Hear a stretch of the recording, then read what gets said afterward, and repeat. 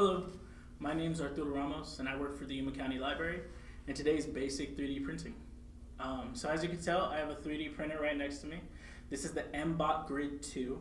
Um, it's one of our older models, but it still gets the job done as you can tell.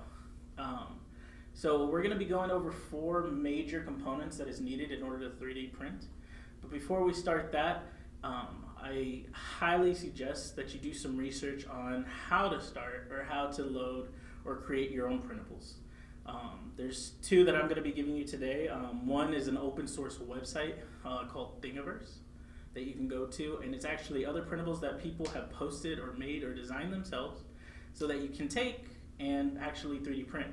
Um, if you're planning on trying to learn how to do it on your own, MPrint is the program that we use here at the library in order to make our own objects and 3D print for.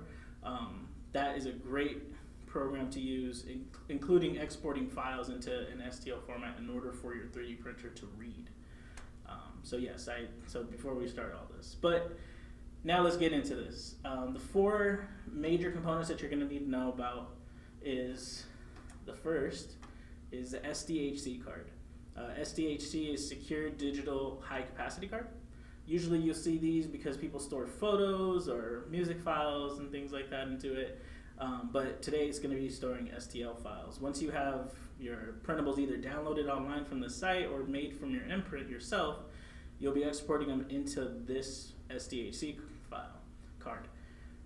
Um, you'll place it back into the port here, and in the front you'll use the control panel to actually select which 3D print you want, because you can, of course, put multiple onto the card. Uh, the next part is the hotbed itself. Uh, the hot the hotbed is actually a glass. It's made out of glass. Um, we put tape on it. That's why ours might look a little bit different. The only reason we put tape on ours is because after the 3D print is done, it's easier to come off when we take it off. Just a little life hack there.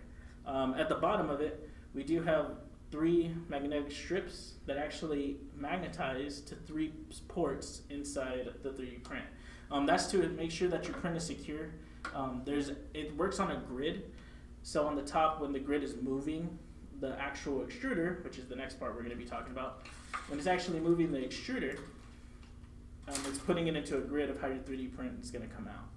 Now, I took this already. Most of the 3D printers, when you purchase them, they already come pre pre-assembled, um, so you don't have to worry about taking it off. I'm just taking it off for educational purposes.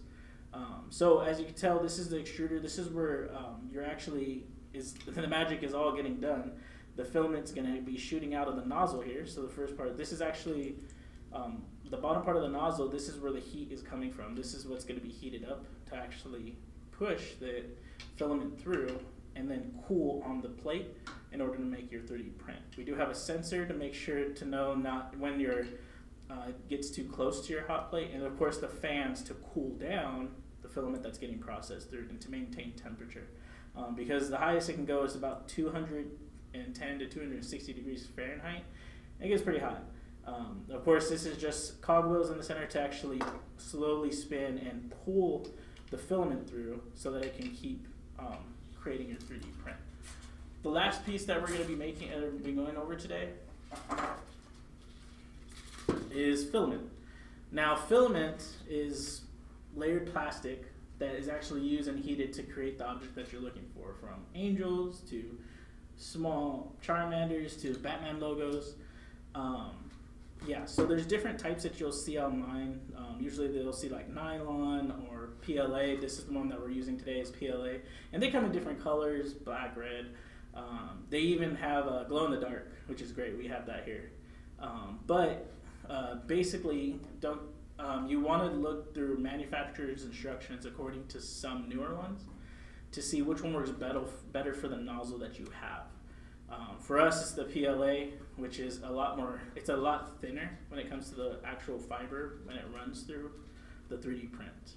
So, but yeah, those are the four basic information that I'm going to give you today. I don't have that much time, but I kind of want to give you the basic of it. Hopefully, I can get another program started.